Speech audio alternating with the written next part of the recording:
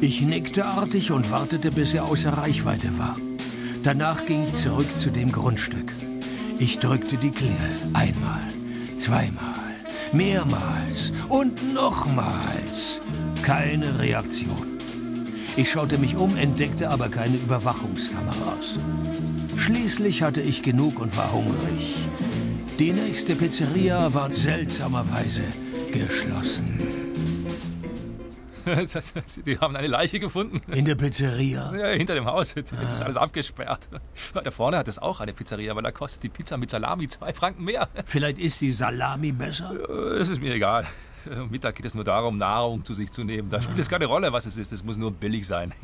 Das Frühstück ist der König. Da lange ich richtig zu. Und am Abend kocht meine Freundin, die hat die Mikrowelle im Griff. Ja. Wissen Sie, wer der Tote ist, den man gefunden hat? Ja, ein Mann. Mehr weiß ich nicht. Interessiert mich auch nicht. Eigentlich müssten Sie jetzt sofort reagieren und die Pizzas mit 20% Rabatt anbieten. Ja, sonst ist doch das Mittagsgeschäft im Eimer. Vermutlich hat die Polizei etwas dagegen. Die möchten Spuren sichern. Ja, die, die könnten ja trotzdem ihre Pizzas backen und sie to go verkaufen. Dagegen hätte ich nichts einzuwenden. Äh, kennen Sie sich hier in der Gegend aus? Ja, ich, ich bin Stromer. Ich, ich, komme viel herum. Haben Sie vielleicht auch schon im Haus von Frau Zemp an den Stromleitungen hantiert? Zemp? Da bin ich richtig neidisch. Ja. Weil sie so toll aussieht. Nein, nein, wegen dem Haus. Also nicht das, in dem sie wohnt, aber daneben hat es noch ein kleineres, das früher mal eine Schreinerei war. Perfekt. Genauso etwas suche ich, um mich selbstständig zu machen. Hm. Sie wollte aber nicht vermieten. Sie sagte, sie brauchte das für ihr eigenes Business. Ja, ist, wo ist das heute? Wir Handwerker, wir kriegen nichts mehr. Das ist alles schon Privatbesitz. Die, die Frau Zemp, wie ist die so? Ganz okay. Nicht mehr so jung. Er, er hat das für Sie. Danke, danke. Was wissen Sie sonst noch über Sie? Sie, Sie fragen und fragen. Ich sage jetzt nichts mehr. Außer Sie laden mich zu meiner Pizza ein.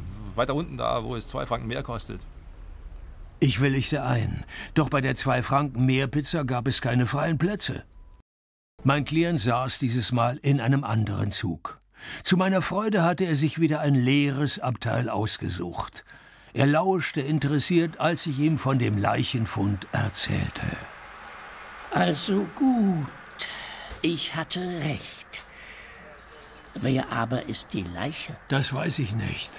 Gehört das nicht zu Ihrem Auftrag? Normalerweise suche ich Mörder und keine Leichen.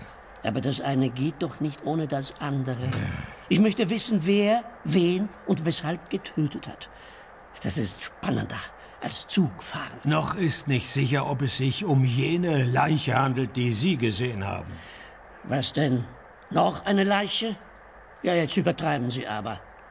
Nein, es muss jener Mann sein, den ich gesehen habe, zusammen mit dem Mörder. Auf dem Grundstück von Frau Zemp. Haben Sie mit der Frau gesprochen? Sie scheint abwesend zu sein. Dann könnten Sie sich auf dem Grundstück umsehen. Vielleicht finden Sie etwas. Ah. Der Mörder hat die Leiche weggeschleift. Da könnte etwas aus einer Tasche gerutscht sein.